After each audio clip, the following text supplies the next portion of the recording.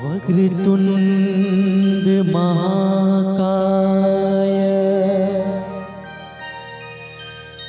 सूर्यकोटि समप्रभा। निर्विघ्नं कुरु मे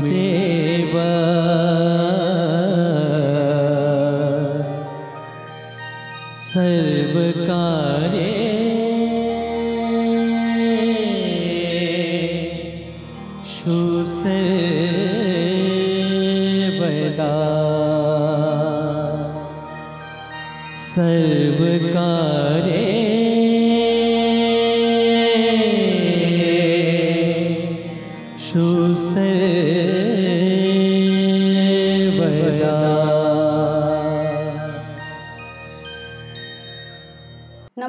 વિદ્યાર્થી મિત્રો, હું તેજલ મેડમ આપનું પ્રણસ્યા સંસ્થામાં સ્વાગત કરું છું. તો વિદ્યાર્થી મિત્રો, આજે આપણે ધોરણ ત્રણમાં વિષય ગણિત ગમત, પાઠ પાંચ, આકાર અને ભાત. ભાત એટલે કે ડિઝાઇન તેના વિશે અભ્યાસ કરીશું.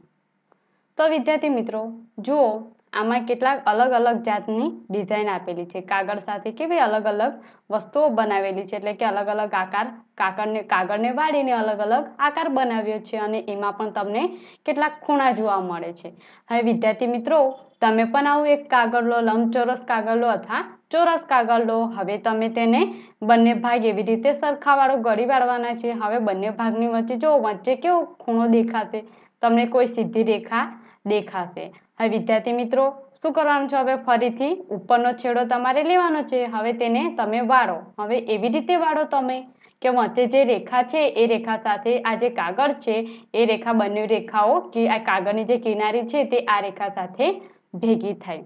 હવે વિદ્યાર્થી મિત્રો, એવી જ રીતે ત્રીજી પ્રવૃત્તિ પણ એ કાગળને ફરીથી વાળો અને નીચે એ જ જેટલા માપનું કાગળ વાળ્યું છે, એટલા જ માપનું ફરીથી ત્રીજી વાર તેને વાળો. હવે એવી જ રીતે તેને ચોથી વાર વાળો. હવે વિદ્યાર્થી મિત્રો, શું કરવાનું છે? હવે આખું કાગળ કેવું? આવી રીતે ગોળ વળી જશે. હવે શું કરવાનું છે તેને? પાછું વચ્ચેના ભાગેથી વાળો. હવે તમને કંઈક આવું દેખાશે. જો તમે ચિત્રમાં જોઈ શકો છો, તો તમને કંઈક આવો આકાર દેખાશે. હવે વિદ્યાર્થી મિત્રો, જુઓ તમે આ ભાગને હવે શું કરશો? તો ઉપરના ભાગને થોડું ખોલો, ઉપરથી ખોલો, પકડીને પાછળની આ જે સાઈડ છે તે સાઈડને પકડો હાથથી અને જે આ ઉપરનો ભાગ છે તેને ઉપરથી ખેંચો. હવે શું કરવાનું છે? જો આવી રીતે ખેંચશો તો તમને કંઈક આવી રીતે કોઈ એક સરસ મજાનું, નાનું રમકડું જેવું દેખાશે. હવે વિદ્યાર્થી મિત્રો, આ શું છે?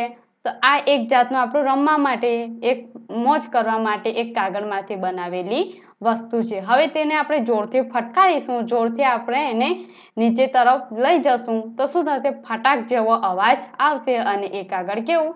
ફરીથી આવું ખુલી જશે. તો વિદ્યાર્થી મિત્રો, તમે પણ આવી પ્રવૃત્તિ જાતે તમારા ઘરે કરી શકો છો અને તમને આ કાગળ બનાવીને આ રમત રમવાની ખૂબ જ મજા આવશે. તો વિદ્યાર્થી મિત્રો, તમે પણ આવી રમત રમી શકો છો.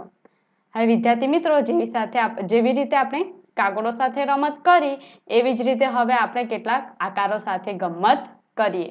તો વિદ્યાર્થી મિત્રો, અહીં તમને એટલા એવી કેટલી બધી વસ્તુઓ છે, તે વસ્તુઓ જોઈને તમને એવું મનમાં થાય કે આ વસ્તુનો આકાર ગોળ છે, વસ્તુનો આકાર ચોરસ છે, આ વસ્તુનો આકાર ચોરસ છે, એવું મનમાં થતું હશે. તો વિદ્યાર્થી મિત્રો, હવે આપણે રોજ તો આપણે આપણી સ્કૂલમાં આપણા ઘરે કેવી અવનવી વસ્તુઓ પણ જોઈએ છીએ, એમના આકારો કેવા હોય અલગ અલગ હોય. તો વિદ્યાર્થી મિત્રો, આ આકારોને આપણે ઓળખવાના છે. તો વિદ્યાર્થી મિત્રો, આપણે આકારને ઓળખીએ કે જુઓ અહીં બાજુમાં જુઓ પહેલું ચિત્ર આપેલું છે, હવે આ જે આકાર આપેલો છે, એ આકાર કેવો કહેવાય?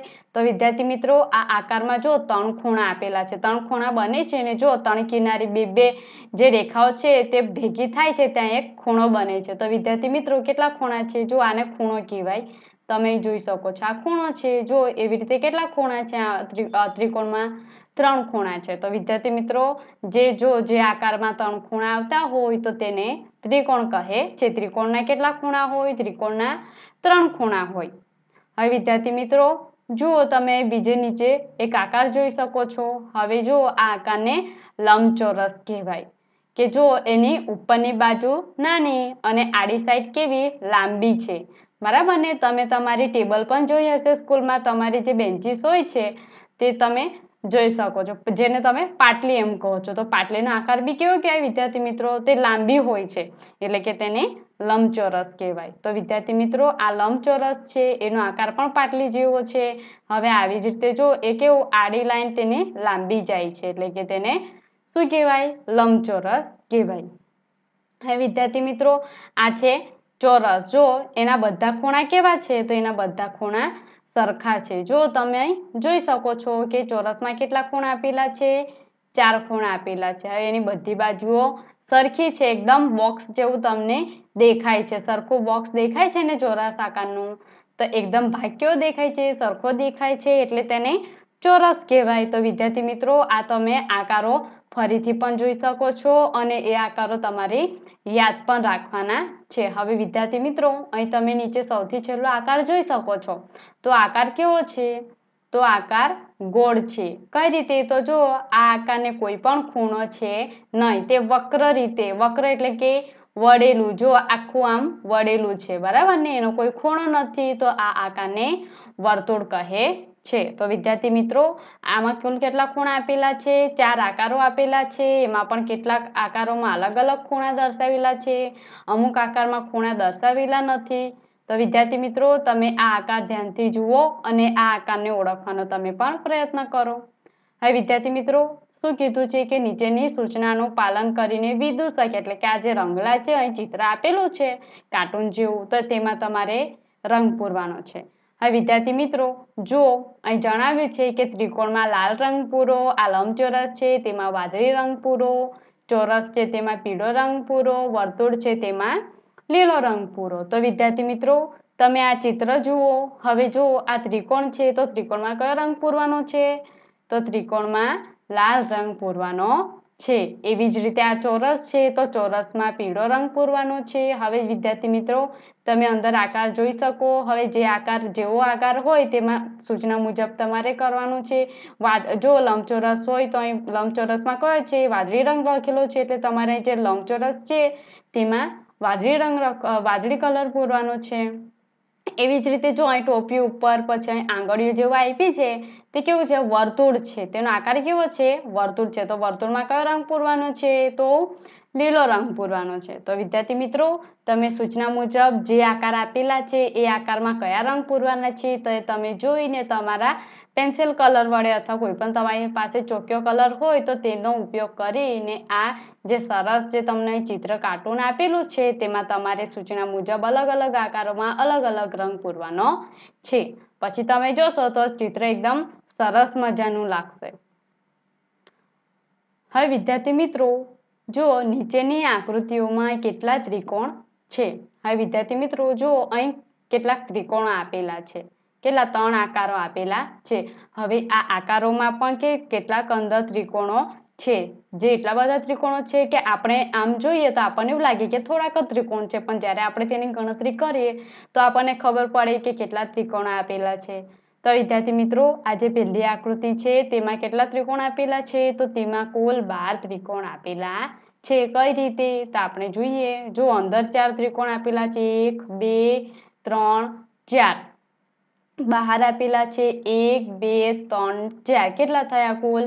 આઠ ત્રિકોણ થયા. હવે વિદ્યાર્થી મિત્રો, હવે બીજા એવા ચાર ત્રિકોણો આમાં છુપાયેલા છે, જે આપણને ખબર પડતી નથી. તો એ આપણે જોઈએ. જો અહીંથી એક આખો મોટો ત્રિકોણ બને છે. જુઓ તમે નિશાની કરીને પણ જોઈ શકો છો. નવ થયા. હવે બીજું જુઓ. બીજો એક મોટો ત્રિકોણ બને છે. કેટલા થયા?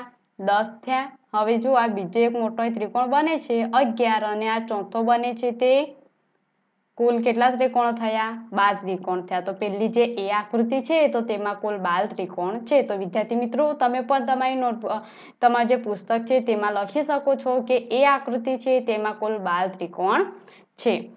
હવે વિદ્યાર્થી મિત્રો, જુઓ, હવે તમે બી આકૃતિ જોઈ શકો છો. બી બી, આ બીજી આકૃતિ છે, તો તેમાં કુલ પંદર ત્રિકોણ છે. વિદ્યાર્થી મિત્રો, જેવી રીતે આમાં આપણે પ્રયત્ન કરીએ એવી રીતે તમે પણ આમાં પ્રયત્ન કરો. કે આમાં કુલ કેટલા ત્રિકોણ છે? તો જો એક, બે, ત્રણ, ચાર, પાંચ, છ, સાત, આઠ. હવે બીજા આપણે જોઈએ આઠ ત્રિકોણ, પછી જો એક આખો બને છે આઠ એટલે નવ, અહીંથી દસ. એવી જ રીતે જુઓ અહીંથી એક મોટો ત્રિકોણ બને છે દસ ને એક. કેટલા થયા? અગિયાર. પછી એવી જ રીતે આપણે જોઈ શકીએ છીએ કે આખો ત્રિકોણ બને છે. કેટલા થયા? બાર. અહીં એક મોટો ત્રિકોણ બને છે, તેર. ચૌદ. એવી જ રીતે આ બીજા છે, નાના નાના ચૌદ અને પંદર. તો વિદ્યાર્થી મિત્રો, એવા કેટલાક આમાં ત્રિકોણો સંતાયેલા છે, તે આપણે જાતે પણ પ્રયત્ન કરીએ. હવે બીજું જુઓ કે અહીં પણ કેટલાક આમાં કેટલાક ત્રિકોણ આપેલા છે. જુઓ, કેટલા છે સીમાં કુલ તેર ત્રિકોણો છે. જો આ એક અંદર કેટલા છે, ત્રણ. એક, બે, ત્રણ. હવે એવી જ રીતે આપણે જોઈએ બહાર કેટલા છે, તો ત્રણ, ચાર, પાંચ છ, સાત, આઠ અને નવ. હવે વિદ્યાર્થી મિત્રો, આ બીજો એક જે આખો ત્રિકોણ બને છે તે થઈને કેટલા થયા? કુલ દસ ત્રિકોણ થયા. તો હવે વિદ્યાર્થી મિત્રો, આપણે જોઈએ કે હજુ કેટલા, આમાં પણ હજુ ત્રિકોણો છે, જેમના હજુ ત્રણ એવા આપણે ત્રિકોણ શોધવાના છે. હવે આપણે જોઈએ કે અંદર બીજા કયા આકારો સંતાયેલા છે, ત્રિકોણ આકાર બીજા હજુ ત્રણ છે. તો હવે વિદ્યાર્થી મિત્રો, આપણે જોઈએ કે જુઓ આ જે ત્રિકોણ છે, હવે એનો મોટો ભાગ જુઓ તમે જોઈ શકો છો, અગિયાર, પછી જો, એવી જ રીતે આ બાર, પછી અહીંથી જો, આ તેર. ખબર પડી? જો, આ છે, આ જો એક બીજો આમાંથી અલગથી ત્રિકોણ બને છે. એવી જ રીતે જુઓ અહીંથી બીજા એવા ત્રિકોણ બને છે. ને છેલ્લો એક અહીં ત્રિકોણ બને છે. કુલ કેટલા થયા? તેર ત્રિકોણ થયા.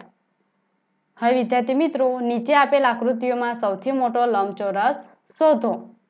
તો જુઓ, અહીં મેં નિશાની કરેલી છે.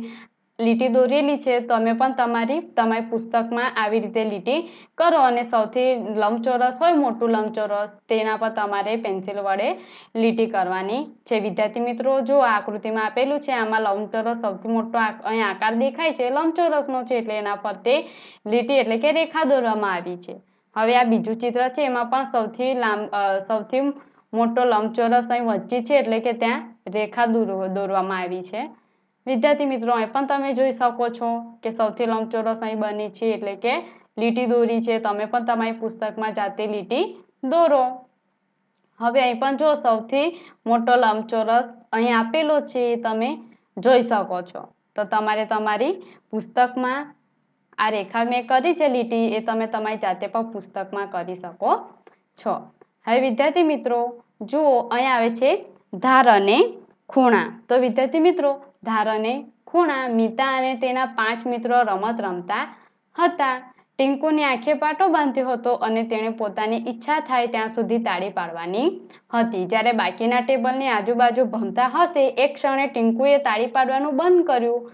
હવે દરેક જણ જ્યાં હતા ત્યાં ઊભા હશે. જે બાળક ખૂણા પાસે ન હોય તે આઉટ હશે. પછી તેની આંખે પાટો બાંધ્યો હશે. વિદ્યાર્થી મિત્રો, તમે પણ આ રમત તમારી ઘરે પણ રમી શકો છો. ટેબલ હોય એના ફરતે બધાએ ગોળ ગોળ ઊભું રહી જાય છે. હવે એક જે મિત્ર હોય આપણા અંદરથી, તો એ મિત્રને આંખો પાટો બાંધી દેવાનો. હવે રમત રમવાની શરૂઆત કરવાની, તાળી પાડવાનું બંધ થઈ જાય, તો આપણે આંખો પાટો ખોલી ને આપણે જોવાનું છે કે કયો મિત્ર આ જે ટેબલ છે તેની ધાર પર નથી, એટલે કે ખૂણા પર નહીં. જો કેટલાક બાળકો અહીં ખૂણા પર ઊભા રહ્યા છે. હવે જે ખૂણા પર ના હોય તો તે આઉટ ગણાશે. જો અહીં એક છોકરો છે, આમાં તે અહીં ખૂણા પર ઊભો રહ્યો નથી, એટલે એ આઉટ ગણાશે. એનું નામ શું છે? તો ગુડ્ડુ છે. હવે એના પરથી, વિદ્યાર્થી મિત્રો, આ રમત પરથી આપણે કેટલાક સવાલના જવાબ આપવાના છે. પહેલું છે, ઉપર આપેલ ચિત્રને જોઈને તમે કહી શકશો કે કોણ આઉટ છે? તો વિદ્યાર્થી મિત્રો, મેં તમને સમજાવ્યું કે જે ખૂણા પર ઊભું રહ્યું નથી, તો તે આઉટ હશે. તો અહીં આપણે જોયું કે ગુડ્ડુ ટેબલની બહાર ઊભો રહ્યો છે. તે ખૂણા પર ઊભો રહ્યો નથી. એટલે કે ગુડ્ડુ આઉટ હશે. હવે ગુડ્ડુ ક્યાં ઊભી છે? તો આપણે જોઈએ કે ગુડ્ડુ ટેબલની કિનારીએ ઊભી છે. જ્યારે બીજા તેના મિત્ર છે, તે લોકો ટેબલની ખૂણાએ ઊભા છે. હવે આ રમત ગો ટેબલની આજુબાજુમાં રમી શકાય? વિદ્યાર્થી મિત્રો, તમે વિચારો કે આ રમત ગો ટેબલની આજુબાજુમાં રમી શકાય? ના. તો શા માટે? તો વિદ્યાર્થી મિત્રો, આપણે ગોળ ટેબલ હોય તો ગોળ ટેબલની ફરતે આપણે કઈ રીતે રમી શકીએ? કેમ કે ગોળ ટેબલની કિનારીએ ખૂણા આવેલા હોતા નથી, માત્ર તેની સીધી ધાર જ હોય છે. હવે ત્યાં ખૂણા આવેલા નથી, તો આપણે જ્યારે રમત રમીએ તો ખૂણા પર ઊભું રહેવાનું હોય તો ગોળ ટેબલ હોય તો ત્યાં ખૂણા ન હોય. એટલા માટે આપણે આ રમત ગોળ ટેબલની આજુબાજુમાં રમી શકાય નહીં. તો વિદ્યાર્થી મિત્રો, આપણી આજુબાજુની ઘણી વસ્તુઓને સીધી ધાર હોય છે, જુઓ, જેમ કે પુસ્તક, પુસ્તકની ધાર કેવી એકદમ સીધી છે, તમે જોઈ શકો છો ધાર એટલે કે કિનારી. હવે જુઓ, આ છે ખુરશી, તમારી પાસે પણ ખુરશી હશે, ખુરશીને જુઓ, તો ખુરશીની ધાર પણ કેવી હોય, તો એની ધાર પણ સીધી હોય. પતંગ છે, તમે ઉત્તરાયણ પર પતંગ ચગાવતા હશો, તો જુઓ, પતંગની ધાર પણ કેવી હોય, સીધી હોય છે ને, જુઓ, એની કિનારીઓ સીધી હોય છે. એટલે કે જેની પણ ધાર સીધી હોય, જેની પણ ધાર સીધી હોય તેના ફરતે આપણે રમી શકીએ છીએ. હવે વિદ્યાર્થી મિત્રો, કેટલીક વસ્તુઓની ધાર વક્ર હોય છે. કેટલીક વસ્તુની ધાર કેવી હોય છે? વક્ર હોય છે. વિદ્યાર્થી મિત્રો, અહીં તમારે યાદ રાખવાનું છે કે વક્ર એટલે કે વળેલું અથવા ગોળ. તમારે આ વસ્તુ ખાસ ધ્યાનમાં રાખવાનું છે કે વક્ર એટલે કે કોઈ પણ વસ્તુ વક્ર, તેની ધાર વક્ર હોય એટલે કે વળેલી હોય, ગોળ હોય. તો તેને વક્ર કહે છે. દાખલા તરીકે જો આ ગાડાનું પૈંડું છે, કેવું વક્ર છે તે? વળેલું છે ને ગોળાકાર. એટલે કે આ ધાર કેવી છે? વક્ર છે. હવે એવી જ રીતે થાળી આપેલી છે, એની ધાર પણ વક્ર છે, એટલે કે ગોળ છે.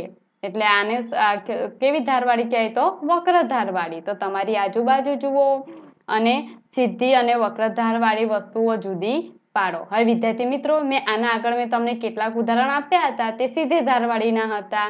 કયા? તો તમે પણ યાદ કરો કે આની આગળ મેં કેટલાક ઉદાહરણો આપ્યા હતા તમને. કયા? તો પુસ્તક છે, ખુરશી છે અને પતંગ. તો તેની ધાર કેવી હતી? તો તેની ધાર હતી સીધી હતી. સીધી રેખામાં હતી. એટલા માટે તેની ધાર સીધી સીધી ધારવાળી અને જ્યારે આ વળેલું હોય વક્ર તરફ, એટલે કે આધાર વક્ર છે વળેલી છે, એટલે એ વસ્તુને આપણે અલગ અલગ પાડવાની છે. હવે ઓળખી બતાવ કે બ્લેકબોર્ડ બારણું, બારી, છાપું, એટલે કે ન્યૂઝપેપર જે તમે પેપર દૈનિક પેપર વાંચો છો તે દૈનિક સમાચાર, પછી ટેબલ છે અને પાટલી. તો કેવી છે? સીધી ધારવાળી છે. બરાબર ને? હવે એવી જ રીતે સીધી ધારવાળી વસ્તુઓને ખૂણા હોય છે. તો વિદ્યાર્થી મિત્રો સીધી ધારવાળી વસ્તુઓને ખૂણા હોય છે તો હા તો સીધી ધારવાળી વસ્તુઓને ખૂણા હોય છે. હવે વિદ્યાર્થી મિત્રો વક્ર ધારવાળી વસ્તુઓને ખૂણા હોય છે તો ના. ના વક્ર ધારવાળી વસ્તુઓ અને ખૂણા ન હોય. જેમ કે સિક્કો છે, બોલ છે, લીંબુ છે, સફરજન, પાંદડું અને વાટકો. તેની ધાર તો હોય છે, પણ એની વક્ર, એની ધાર કેવી હોય? એકદમ વક્ર હોય, પણ તેના ખૂણા હોતા નથી. એટલે કે તે વક્રધારવાળી વસ્તુ કહેવાય. આ તમે ઉદાહરણ જોઈ શકો છો. હવે વિદ્યાર્થી મિત્રો, જેને સીધી ધાર અને વક્રધાર બંને હોય તેવી વસ્તુઓ શોધવાનો પ્રયત્ન કરો. વિદ્યાર્થી મિત્રો, અહીં મેં તમને સમજાય કે સીધી ધાર કોને કહેવાય અને વક્રધાર કોને કહેવાય? એને કઈ રીતે ઓળખવા ઓળખવાનું?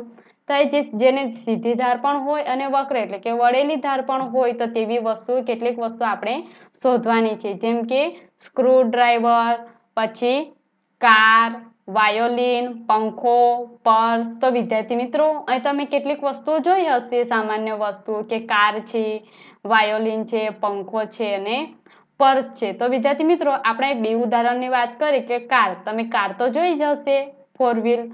તો હવે જો એ ઉપરથી કેવી હોય? વક્ર હોય. એટલે કે ઉપરથી તેનો આકાર વળેલો હોય, જ્યાં નીચે એકદમ સપાટ હોય. એટલે કે સીધી ધારવાળો પણ છે અને વક્ર ધારવાળો પણ છે અને પર્સ. પર્સ તમે જુઓ તો તમારા પપ્પાનું પર્સ તમે જોઈ જશે તો તેની બધી પર્સ તમે ખોલીને જોશો તો એકદમ તેની ધાર કેવી લાગશે? સીધી ધારવાળી લાગશે. જ્યારે તમે તેને બંધ કરશો, એટલે કે જો તેના ખૂણા પર થોડુંક વળી જશે, એટલે કે તે વક્ર ધારવાળું પણ કહેવાય. તો વિદ્યાર્થી મિત્રો, અહીં તમને સીધી ધારવાળી વસ્તુઓ અને વક્ર ધારવાળી વસ્તુઓ વસ્તુઓ વિશે તમને સમજ પડી હશે. તમે પણ આવો, જાતે કેટલાક ઘરે પણ ઉદાહરણો જોઈ, વસ્તુઓને જોઈને આ સીધી ધારવાળી છે કે પછી વક્ર ધારવાળી વસ્તુઓ છે તેને તમે ઓળખવાનો પણ જાતે પ્રયત્ન કરો. તો વિદ્યાર્થી મિત્રો, આજનો વીડિયો આપણો અહીં પૂરો થાય છે. હવે બીજો વીડિયો આપણે એમાં જે પ્રવૃત્તિ કરવાની છે તે આપણે આગળના વિડીયોમાં જોઈશું. આભાર.